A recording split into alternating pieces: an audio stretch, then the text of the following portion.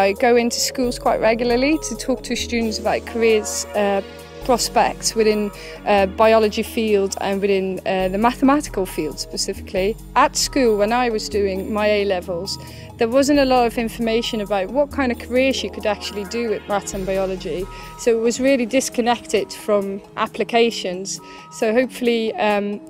by visiting schools, they get to see what it's really like to work in the field. Here at Rothamsted, um, they've put together a really interesting day where they're linking the mathematics that they do with the biology that they do.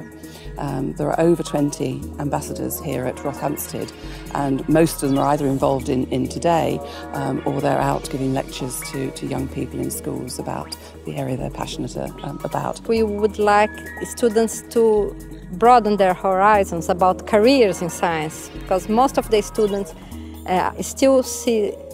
science as, as separate as biology or chemistry but today we are bringing maths and science together and we hope that some of them will end up considering other possibilities for their career choices. It's a flagship for the work that we do in, in Hertfordshire. Because if we're going to inspire young people about science, engineering, and technology and mathematics, then to have real people who are passionate about that, who can actually come and talk to young people, um, then that's obviously going to have a, uh, an impact on them. I'm hoping at the end of today that the students will um, feel a bit more comfortable with doing some mathematics in their biology and see the importance of continuing with their maths at school um, if they want to go on with a career in biology.